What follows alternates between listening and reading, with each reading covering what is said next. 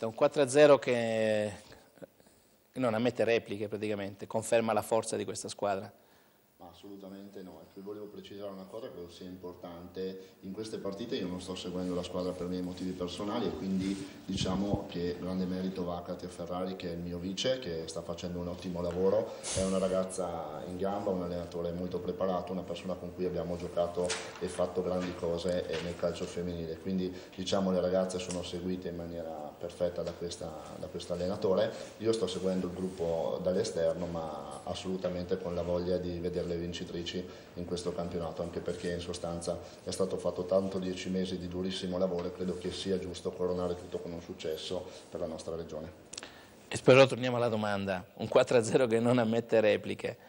Il, questo CF Sud Alto Adige ha recuperato forza, vigore e, e condizione? Assolutamente, ha vissuto un periodo negativo e dopo essere partito diciamo, a sprombattuto, quindi ha fatto un inizio di campionato stupendo, risultati eclatanti, il 10 a 1, il 7 a 1, dopo c'è stato un periodo di, di crisi eh, nelle quali abbiamo perso purtroppo 8 punti nel giro di, di 5 partite. Adesso le cose si sembrano, sembrano, sistemate e questi risultati ritornano ad essere i risultati che questa formazione è in grado di, di mettere in campo. Quindi gli auspici per un, uno scontro diretto col Frutta Più ci sono tutti, sono ottimi auspici, le ragazze forse hanno ritrovato quell'agonismo che forse era mancato, forse hanno capito che quella sicurezza che avevamo con gli otto punti in realtà era una sicurezza fasulla come avevamo parlato già in questi studi qualche mese fa. Spero avete dedicato la vittoria di ieri al mister. No, la vittoria l'abbiamo dedicata a noi stesse. A voi stesse? Eh, sono un po' egoiste le ragazze, mister.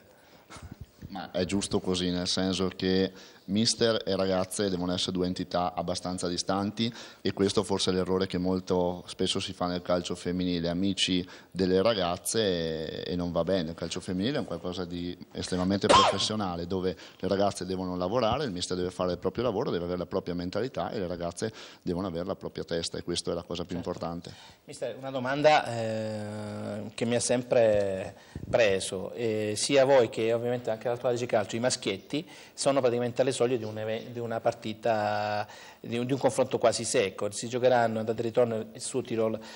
eh, dei maschi la, la, permanenza in Serie C2, vi giocherete una partita secca, la, la promozione in Serie A2. Come si preparano questi eventi dal punto di vista tecnico?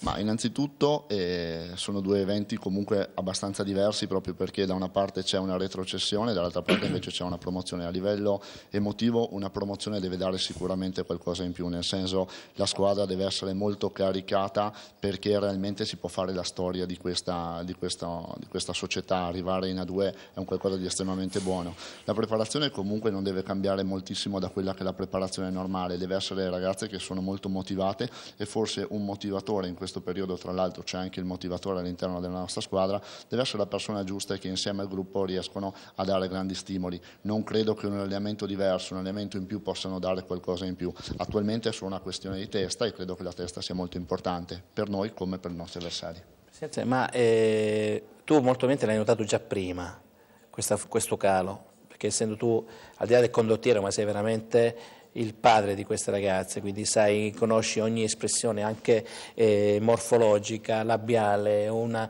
una inclinatura della, del viso. Quando è che hai percepito che molto probabilmente le ragazze stanno un po' mollando? Ma guarda, il, eh, il calo eh, c'è stato subito dopo la partita contro il Vicenza, la prima del ritorno 7-1 che mi ha spaventato molto perché il Vicenza tra l'altro nell'andata era stata la prima partita che facevamo e siamo riusciti a fare un pareggio all'ultimo minuto. E lì ho visto un qualcosa che non iniziava a funzionare perché effettivamente ci siamo trovati un po' meno all'allenamento, abbiamo visto qualcuno magari che questo 7-1 ha dato un po' eh, di sensazioni di siamo veramente forti. E in realtà io ho parlato anche nelle ultime, nelle ultime, partite di una mentalità che non c'era da parte delle ragazze, però bisogna anche capire che sono ragazze che vengono da alcune da campionati di Serie C dove non sono abituati a de, abituate a determinate situazioni, quindi anche trovarsi in una situazione perfetta, più otto punti, sembra tutto a posto, probabilmente è anche naturale che ci sia un attimino di rilassamento. Da parte mia c'è stata un,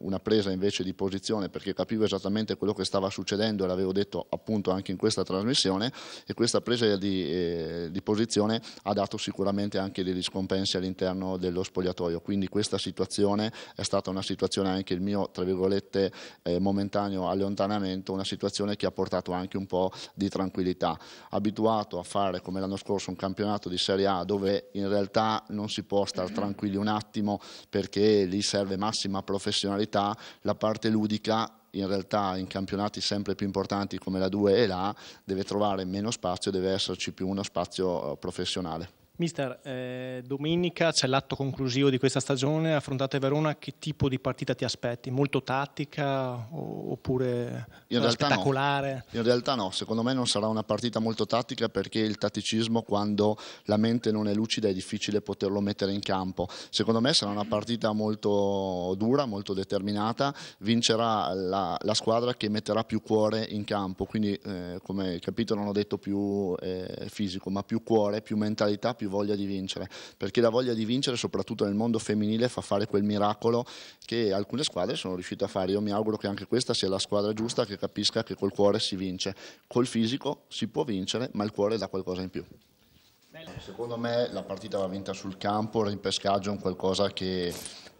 non ha secondo me senso nel mondo sportivo, nel senso ci sta perché c'è una normativa che lo prevede, però penso che se c'è il progetto da parte di questa società di andare in Serie A non bisogna sperare, come dice il Presidente, di, in un ripescaggio, la partita va giocata, va giocata alla grande e va vinta, questo è il concetto, quindi i ripescaggi vanno bene per le squadre senza ambizione, io penso che le nostre ragazze siano in grado di andare in campo e vincerla questa partita e non hanno bisogno di nessun aiuto da parte sulle disgrazie degli altri, perché alla fine è questo il concetto. Bene, queste tue parole sono sacrosante anche perché